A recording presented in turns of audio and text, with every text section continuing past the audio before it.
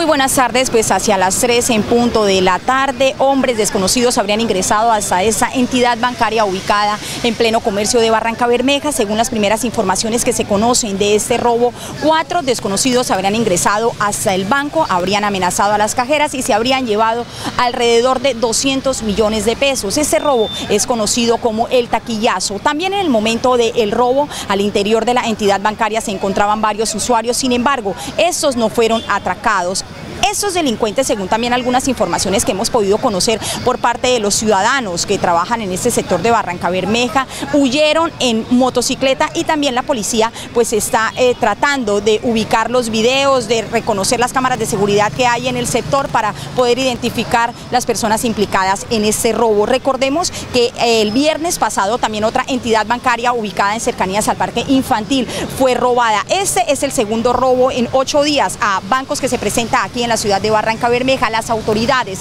aún no se han pronunciado sobre este nuevo hecho delictivo que por supuesto preocupa a los ciudadanos. Sin embargo, eh, estamos a la espera de que en las próximas horas que se va a realizar el plan de seguridad para la Semana Santa, las autoridades eh, presenten un reporte sobre lo que ocurrió y también que eh, si es posible tienen pensado ofrecer una recompensa o mostrar la identidad de estos sujetos, a ver si los ciudadanos pueden identificarlos, pueden saber si ellos han participado también en otros robos de la ciudad. Nosotros estaremos muy pendientes de lo que pase aquí en este banco ubicado en el comercio de Barranca Bermeja. Repito nuevamente, por ahora eh, los hombres del cuerpo de investigaciones del CTI se encuentran también recopilando las huellas y todo lo que ocurrió en esa entidad. Nosotros por ahora continuamos aquí, me despido, es un informe de Zula Cruz, continúen ustedes con más desde el estudio.